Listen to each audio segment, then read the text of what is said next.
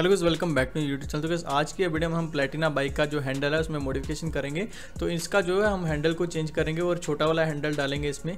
और ये जो हैंडल मेरे पास है अब ये जो रॉयल इनफील्ड का फ्यूरी मोटरसाइकिल है उसका हैंडल है ये। तो फ्यूरी मोटरसाइकिल मैं आपको बता देना चाहता हूँ टू आई थिंक इलेवन में ये जो है इंडिया में आया था और इतना ये पॉपुलर नहीं हो पाया। तो ये उसका हैंडल है ये। आप देखते हैं काफ़ी छोटा है, ये जो स्टॉक वाले हैंडल से। तो क्या यहाँ पर राइट साइड में यहाँ पर मैंने होल करवाया है वेल्डिंग वाले के पास में जाके क्योंकि यहाँ पर जो है इसका स्विच वाला कंसोल लगेगा क्योंकि इसका जो होल है उसका जो अलाइनमेंट है वो गलत जगह पे था तो इसलिए यहाँ पर आपको जो है एक होल करना पड़ेगा। तो आप चाहे तो गैस आप इसमें पल्सर का हैंडल भी इंस्टॉल कर सकते हैं। आ, मेरे पास ये जो है फ्यूरी मोटरसाइकिल का है और ये मेरे को पड़ा है डेढ़ सौ रुपये का मैंने लोकल किसी मैकेनिक से लिया था ये। तो चलेगा अभी इसको जो है अपनी बाइक में फिट करते हैं। तो चलिए सबसे पहले इसके जो स्विच कंसोल है, उनको खोल लेते हैं। तो स्विच कंसोल जो होते हैं इसके, उनको खोलना काफ़ी सिंपल है। लेफ़्ट वाला और राइट वाला मैं दोनों खोलूँगा। और ये आप जो किसी भी प्लस का जो स्क्रू ड्राइवर होता है, उसकी मदद से आप खोल सकते हैं। दो दो स्क्रू जो है, दोनों में लगे होंगे। तो उसको मैं जल्दी से खोल लेता हूँ।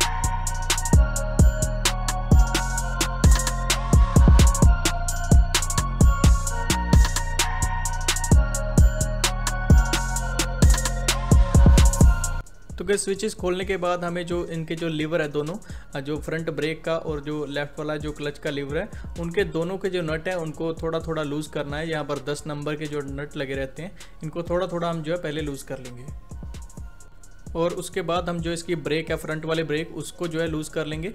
यहाँ पर इसका जो नट है, उसको मैं खोल लेता हूँ ताकि ये इसकी जो केबल है, वो फ्री हो जाए। और दूसरी साइड जो इसका क्लच है, उसको भी मैं लूज़ कर लेता हूँ ताकि वो भी जो है फ्री हो जाए। और इसके बाद गैस हम जो लेफ़्ट वाला क्लच है, उसकी वायर को निकाल देंगे और जो फ्रंट वाली ब्रेक है, उसकी की उसकी जो केबल है, उसको यहाँ से निकाल देंगे हम। और इसके बाद गैस हमें जो लेफ़्ट वाला इसकी ग्रिप है, उसको निकालना पड़ेगा। इसमें गम चिपकी रहती है तो इसमें टाइम लगेगा। तो इसको मैं निकाल लेता हूँ और सीधे आपको जो है, आगे वाला शूट दिखाता हूँ। तो कैसे अभी मुझे हैंडल को निकालने के लिए यहाँ पर जो है, आठ नंबर के नट लगे रहते हैं। इन चारों नट को मैं खोलूँगा और इससे हमारा हैंडल है, वो निकल जाएगा।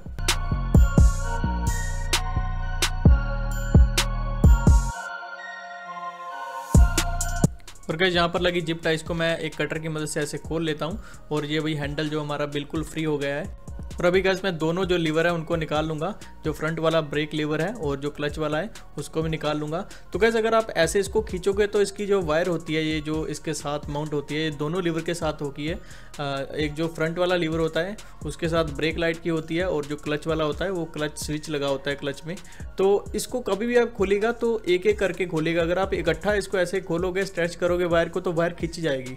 तो इससे अच्छा है कि आप इस हैंडल को जो है सेम ऐसे जैसे मैं कर रहा हूँ, इसको खोल के ही निकालिएगा, ताकि आपकी वायर खींचने का आपको कोई टेंशन ना हो तो चलेगा इसमें अभी डालते हैं रॉयल एनफील्ड फ्यूरी वाला जो हमने हैंडल परचेज किया था, उसको डालते हैं। तो सबसे पहला आपको काम करना है इसका जो ब्रेक लीवर और इसका जो क्लच वाला लीवर है, सबसे पहले आपको जो है वही डालना है। तो चलिए इसको मैं जल्दी से डाल लेता हूँ।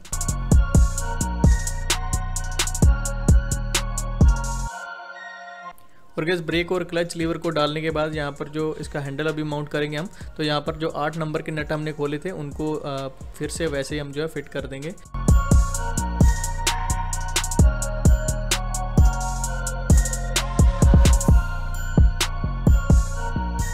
क्या इतना करने के बाद आपको लेफ़्ट वाला जो ग्रिप है, उसको इस टाइप से लगा देना है। और यहाँ का जो स्विच कंसोल है, उसको आपको सिंपली लगा देना है, क्योंकि इसमें कोई भी आपको थ्रोटल केबल नहीं है। थ्रोटल केबल जो है, दूसरे वाले स्विच में होगी। तो सिंपली आपको यहाँ पर ऐसे लगा देना है और इसके जो दो स्क्रू है, इनको वापस से बंद कर देना है। तो इसके बाद गैज़ हमने जो क्लच की केबल खोली थी, उसको वापस से लगा देंगे। और साथ ही में जो फ्रंट ब्रेक की जो केबल खोली थी, उसको भी लगा के उनके जो ब्रेक और जो क्लच की एडजस्टमेंट है, वो हम कर देंगे। ये काफ़ी सिंपल है। जैसे आप इसको खोलोगे, वैसे आपको करना होगा। ये काफ़ी ईजी काम है। तो कैसे भी हमारा लास्ट वाला काम रहता है थ्रोटल को लगाने का तो यहाँ पर मैंने थ्रोटल का जो आ, केबल है उसको इस टाइप से फंसा देना है सबसे पहले और उसके बाद इसका जो स्विच है उसमें एक खाँचा बना रहता है उसमें इसको लगा के और थ्रोटल को ऐसे घुमा के हम चेक करेंगे अगर ये एकदम अच्छा है तो इसका जो पीछे वाला ढक्कन है उसको भी लगा के और इसके जो दो स्क्रू रहते हैं उनको मैं वापस से फिट कर दूँगा तो आप देख सकते हैं अभी ये मैंने जो है प्रॉपर इसको फिट कर दिया है। और इसी के साथ ही गैस हमारा जो हैंडल को चेंज करने का काम है, वो टोटल कंप्लीट हो चुका है। तो गैस अभी लुक वाइज आप देखते हैं, ये हैंडल काफ़ी अच्छा है जो स्टॉक वाले हैंडल से। और इसको पकड़ के ये काफ़ी कंफर्टेबल हो जाता है बाइक को राइड करना। और ये काफ़ी इजी टू राइड हो जाता है ये बाइक को राइड करना। और जो दूसरा वाला हैंडल है, वो ऐसे मतलब आपको कॉन्फिडेंस उतना नहीं आता जितना इस हैंडल से आएगा। तो उम्मीद करता हूँ गाइज़ की वीडियो आपको पसंद आई होगी। पसंद आए तो लाइक शेयर चैनल को सब्सक्राइब कीजिएगा, क्योंकि मैं आपके लिए ऐसी वीडियो लेकर आता रहता हूँ। So thanks for watching this video guys bye take care